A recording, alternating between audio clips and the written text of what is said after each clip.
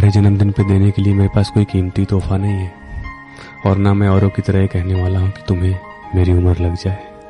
मैं तो बस ये कहूँगा कि तुम्हारे चेहरे की हँसी कभी न जाए, क्योंकि तुम्हारी हँसी ही तुम्हारी पहचान है और तुम्हें खुश देख कर ही मेरी जान में जान है। अगर सभी से प्यार करते हैं तो हाँ।